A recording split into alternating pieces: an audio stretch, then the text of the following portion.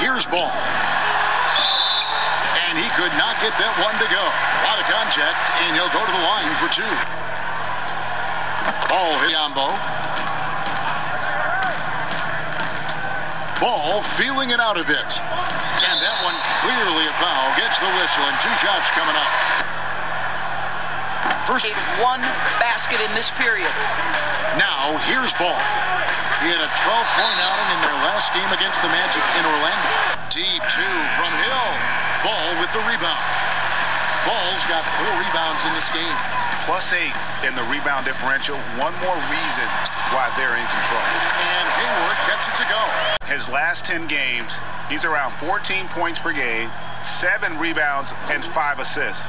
Well, fans of this team will take this kind of production from him without hesitation. Not ones he's had tonight.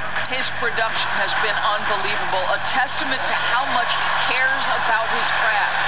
Ball with the bucket. And he's got nine. Biyombo finds ball. Banked in off the glass. Ball's got four points in the quarter. Tonight, excellent D there from Ball.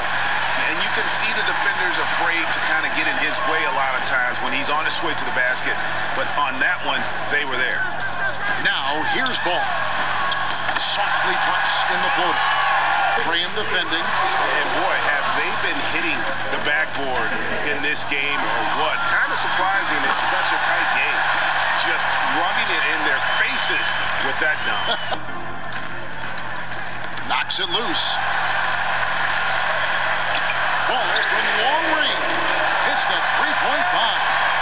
Ball's got 11 points here in just the second half. Night ball. Pass to Hayward. Here's the three. Nailed from three-point land. Pass to Washington. Outside ball.